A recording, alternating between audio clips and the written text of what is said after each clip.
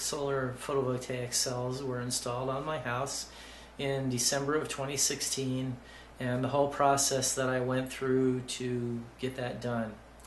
And the prior videos were about the whys and wherefores of how it was all done, and then I went through the plans, and then I went through what was constructed and why we chose those technologies. And then this video is going to be about the information system that comes with the SolarEdge system. And uh, this is one of the major reasons why I chose the system that I did.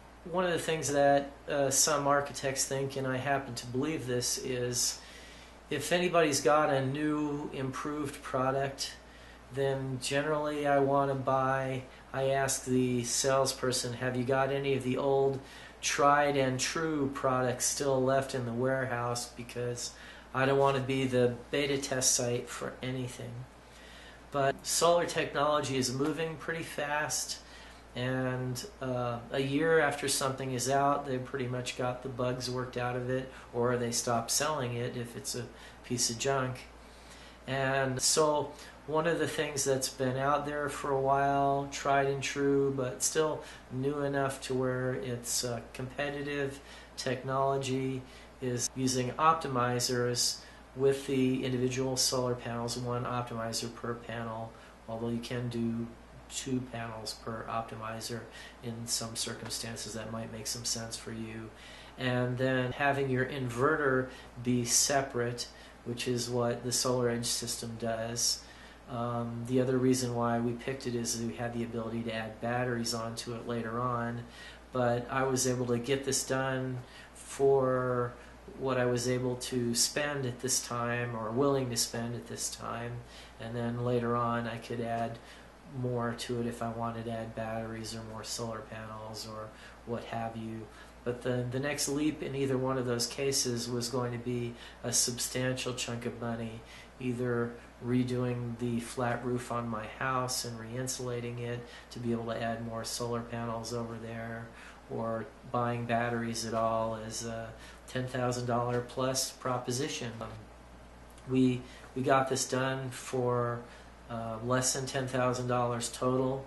Uh, I haven't added it all up yet. And then after that, we expect to get a 30% tax rebate on it, so we might finish under seven. And then uh, the last but not least, a very important thing about the SolarEdge system, which attracted me, was that they have this really cool uh, cell phone app that comes with the SolarEdge system. And um, so here we're seeing how much was used in a day, and then um, how much in a week, and how much in a month. And obviously we're only midway through the month here because you're only seeing half a month. And then for a year we've only we're only on our third partial month right now. And um, so the nice thing about it is going back to the daytime that you can see at an approximate time of day how much uh, electricity it's generating. And you could decide for instance in our case we normally run our pool pump at night when the rates are down, but um, when it's not high summer and we're not air conditioning when we're out of the house, then we could decide to run our pool pump or jacuzzi heater pump during the daytime when the solar system is creating more energy than we're using. So uh, if you understand how electricity is sold, it's a, a weirdo methodology. So you can look at the uh, SolarEdge system and see how much energy you're producing in a given typical day and then you can decide hey I can have my uh, 2 horsepower uh, pool pump come on at uh, 10 o'clock in the morning when we're at work Monday through Friday and have it run for four hours and cut off. And then the first time the air conditioner comes on is 4:30 in the afternoon when when we're uh, cooling off before we get home. So even in uh, month month of March, we might have a few hours of the day when it's going to be uncomfortably warm inside the house. Again, old house, not well insulated, uh, two air conditioning units. So by looking at the uh, Solar Edge online system, which is free for a long time, I think it's free for like 20 or 25 years, uh, then we can figure out how we want to adjust our timers. Now, uh, I have my thermostats on electronic timers and my pool pump on electronic timers, but I don't have all that stuff remote controlled from my phone. So um, I still have to plan a little bit ahead. And I'm actually working when I'm at work, so I haven't got time to fiddle around with, oh, wait, we could save 25 cents worth of energy by turning this on. So I'm going to automate it all, and I'll try and make a schedule for myself depending on the seasons uh, what we're going to be doing. But definitely in July and August, if I have the air conditioning set inside the house to keep the house at, say, 82 degrees when we're gone, it will be coming on during the day. It's 116 degrees out there, and you can burn your finger on your car. Um, it's a hot one in Vegas. And so uh, you're not going to want to be running your pool equipment during those times of day. You're going to run it when the rates are down in the summertime. But um, this time of year might be a good idea to do that. Um, run the washing machine, uh, dishwasher, whatever. Have the crock pot timer come on, something like that. Um, so uh, let's just take a look at the information that's provided on the Solar Edge system for a minute. As I said, we collected those little stickers and then I programmed that data into their system online and I set it up in uh, the two strings that we have. So uh, it presents the data a number of different ways. Uh, one is you're looking at uh, uh, a graph where it's a peak throughout the day. So as the sun goes up, you get more and more and more energy, and then you peak in the afternoon, then you get less, less, less energy, and then maybe a little bit after you come home for the day, boom, no energy. So um, you can see there that there would be some utility in having a battery system and utilizing the power from the batteries during the evening. Um, so we might go for that eventually, but one step at a time. And we don't like to go borrow a bunch of money for something. We would rather borrow a little, pay it off, borrow a little again, pay it off again, and plus the price of the batteries is coming down. So um, you can look at this big uh, block of uh, uh, data and see about how much power you've used throughout the day and give yourself a good idea of when you can have your pool pump or whatever pump come on and not be selling the uh, electricity back to the uh, utility for 20 cents. Then the, the next option for the visual description that uh, the Solar Edge system offers, you see on the lower left the inverter and how much power it's producing in total, and then you see the individual panels. And so this can help you discover whether you have one panel that's defective. And uh, actually, one panel here is doing substantially less than all the others.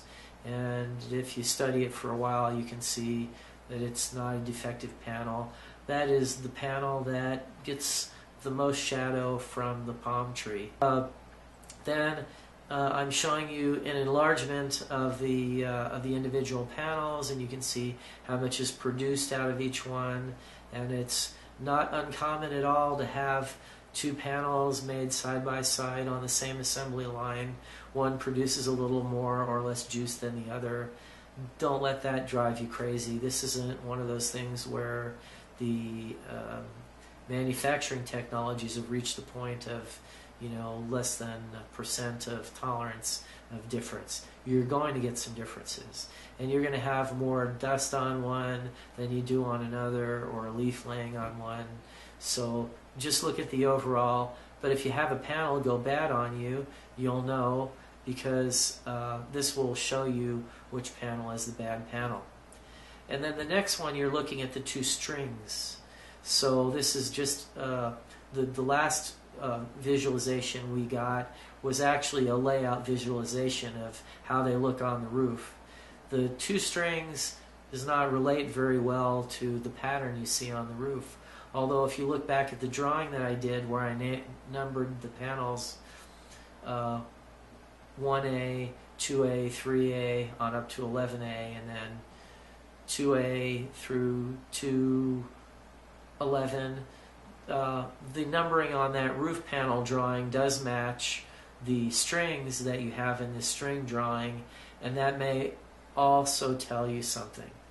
And uh, mostly what that's useful for is if you were going to add panels, say on the west, and you were looking at which string to attach them to, which had more capacity during different times of day and things like that.